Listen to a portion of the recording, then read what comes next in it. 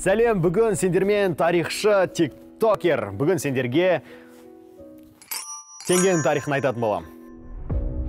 ең алғашқы ұлттық валютамыз қазақ теңгесі 1993 жылы шықты. Теңгенің бірінші топтамасы харрисон сонс фабрикасында лондонда басылып шығарылды. Оны елге жеткізу үшін тасымалдаушылар 18 әуе сапарын жасаған екен.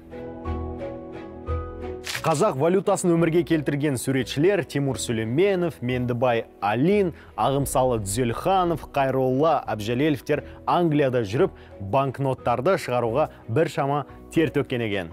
Банкноталардың дизайн жасау барысында тарихи тұлғалар таңдалып болғаннан соң, суретшілер екінші проблемаға тап болды. Енді ол тұлғалардың шынайы түр бейнесін табу керек қиындығы сол тарихи тұлғалардың басым бөлігінің суреттері болмады мысалы әл фарабидің бейнесі қандай болғанын ешкім білмейді өз уақытында бұл сурет ксро ғылым академиясының стандарты болып бекітілген екен алайда оның өзін ғалымдардың шығармаларынан мұрағаттан іздеп табу қиынға соқты. Әбілқайыр ханның суретін ағылшын саяхатшысы аткинсонның жұмыстарынан табылды. Ал абылай ханның бейнесі орыс көздерінен алынды.